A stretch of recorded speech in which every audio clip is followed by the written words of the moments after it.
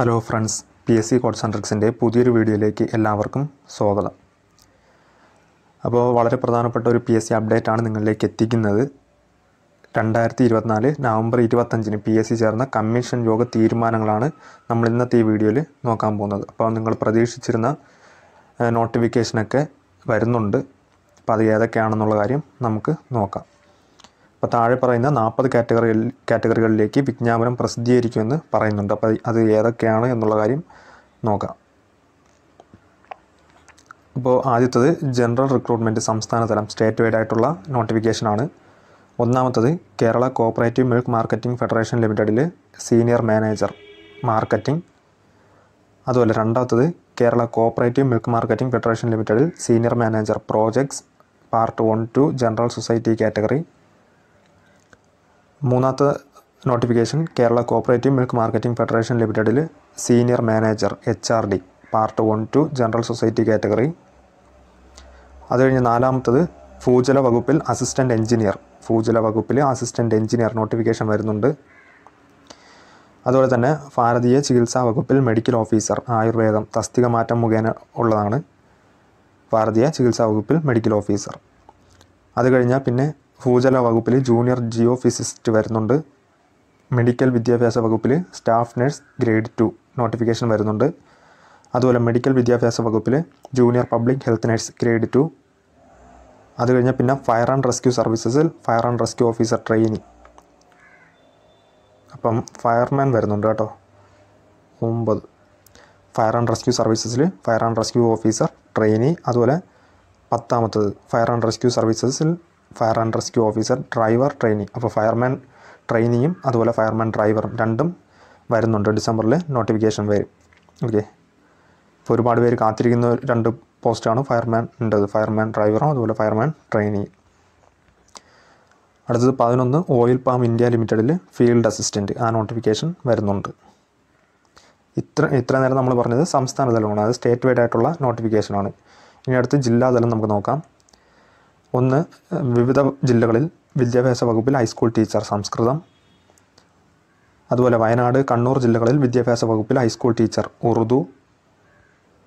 അടുത്തത് വിവിധ ജില്ലകളിൽ വിദ്യാഭ്യാസ വകുപ്പിൽ ഹൈസ്കൂൾ ടീച്ചർ മലയാളം തസ്തിക മാറ്റം മുഖേന ഉള്ളതാണ് അതുപോലെ നാലാമത്തത് മലപ്പുറം ജില്ലയിൽ fire and rescue സർവീസസിൽ woman fire and rescue officer trainee. അടുത്തത് പാലക്കാട് ജില്ലയിൽ മൃഗസംരക്ഷണ വകുപ്പിൽ ചിക് സെക്സർ അടുത്തത് തിരുവനന്തപുരം കൊല്ലം ജില്ലകളിൽ വിവിധ വകുപ്പുകളിൽ ആയ അപ്പോൾ ഇതൊക്കെ ജില്ലാതലത്തിൽ വരുന്നതാണ് ഡിസ്ട്രിക്ട് വൈസ് ആയിട്ടുള്ള നോട്ടിഫിക്കേഷനുകളാണ് അപ്പോൾ ഇതിന്റെ ബാക്കി നമുക്ക് നോക്കാം. അടുത്തത് സ്പെഷ്യൽ റിക്രൂട്ട്മെന്റ് സംസ്ഥാന തലം ആണ്. സ്പെഷ്യൽ റിക്രൂട്ട്മെന്റ് ആണ്. ആദ്യത്തത് തദ്ദേശ സ്വയംഭരണ വകുപ്പിൽ assistant engineer civil civil wing പട്ടികവർഗം.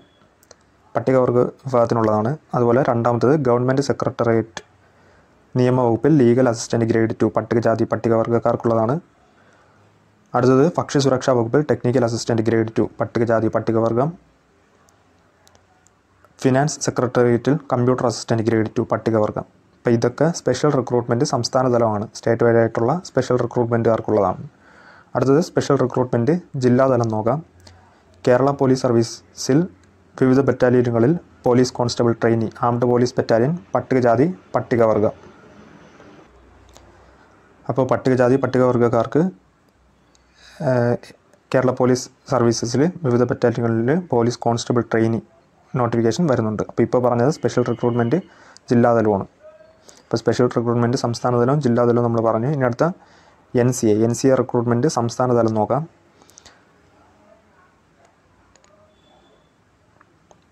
ഒന്നാമത്തത് മെഡിക്കൽ വിദ്യാഭ്യാസ വകുപ്പിലെ assistant professor in nephrology Ezhava തീവ Thiyya Billava കാറ്റഗറിക്കാണ് അത് കഴിഞ്ഞാൽ പിന്നെ അടുത്തത് മെഡിക്കൽ വിദ്യാഭ്യാസ വകുപ്പിൽ assistant professor in paediatric surgery പട്ടികജാതിക്കാർക്കാണ് Ayurveda medical വിദ്യാഭ്യാസ വകുപ്പിൽ assistant professor in Rachana ശരീർ L C I കാറ്റഗറിക്കാണ് Anglo Indian Latin Catholic Anglo Indian വിഭാഗത്തിനാണ് ആ നോട്ടിഫിക്കേഷൻ അടുത്തത് ആയുർവേദ മെഡിക്കൽ വിദ്യാഭ്യാസ വകുപ്പിൽ അസിസ്റ്റന്റ് പ്രൊഫസർ ഇൻ ക്രിയ ശരീർ എൽ സി ഐ കാറ്റഗറിക്കാണ് അത് കഴിഞ്ഞാൽ പിന്നെ പോലീസ്.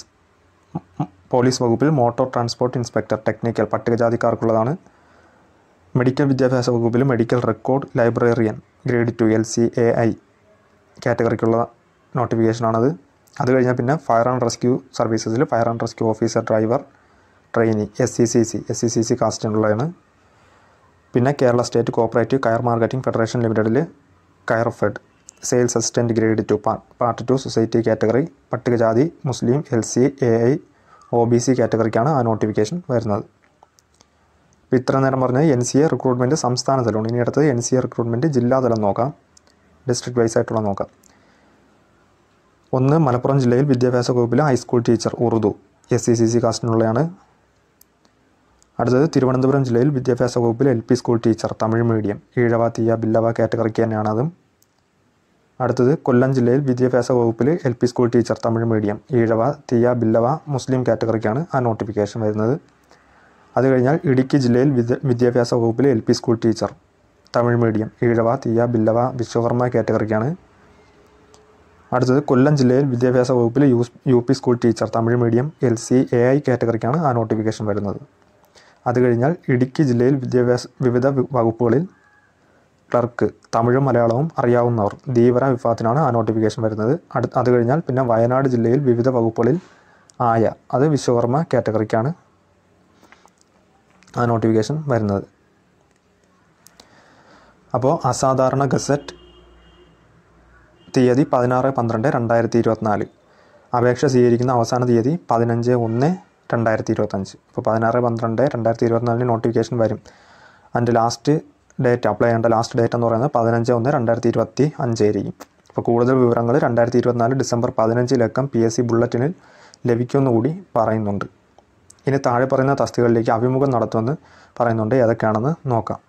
ഒന്ന് മെഡിക്കൽ വിദ്യാഭ്യാസ വകുപ്പിൽ അസിസ്റ്റന്റ് പ്രൊഫസർ ഇൻ ബയോകെമിസ്ട്രി ഒന്നാം N C A L C A I category number ഇരുന്നൂറ്റി അറുപത് ബാർ രണ്ടായിരത്തി ഇരുപത്തിനാല് അതുപോലെ ഇടുക്കി ജില്ലയിൽ വിദ്യാഭ്യാസ വകുപ്പിൽ U P school teacher Tamil medium തസ്തിക മാറ്റം മുഖേനയുള്ളതാണ്. കാറ്റഗറി നമ്പർ ഇരുന്നൂറ്റി അമ്പത് ബാർ രണ്ടായിരത്തി ഇരുപത്തിനാല്. അപ്പോൾ ഈ രണ്ട് തസ്തികയിലെ അഭിമുഖം നടത്തുമെന്ന് പറയുന്നുണ്ട്. അത് കഴിഞ്ഞ് താഴെ പറയുന്ന തസ്തികകളിലേക്ക് സാധ്യത പട്ടിക പ്രസിദ്ധീകരിക്കുമെന്ന് പറയുന്നുണ്ട്. അത് ഏതൊക്കെയാണെന്ന് നോക്കാം.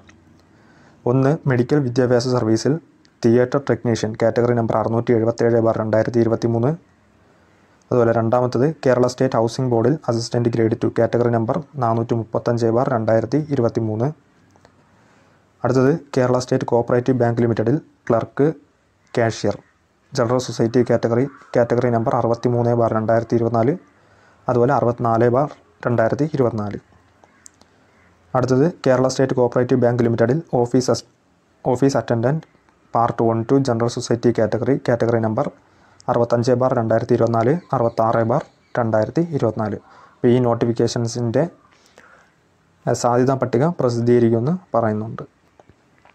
അടുത്തത് താഴെ പറയുന്ന തസ്തികളിലേക്ക് തസ്തികകളിലേക്ക് ചുരുക്കപ്പട്ടിക പ്രസിദ്ധീകരിക്കുമെന്ന് പറയുന്നുണ്ട്. ഇത് ഏതൊക്കെയാണെന്ന് നോക്കാം.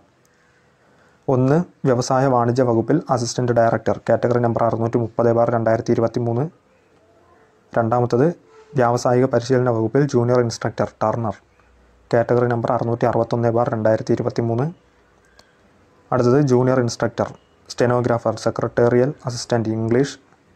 അതുപോലെ ഇടുക്കി ജില്ലയിൽ വിദ്യാഭ്യാസ വകുപ്പിൽ ഹൈസ്കൂൾ ടീച്ചർ തമിഴ്.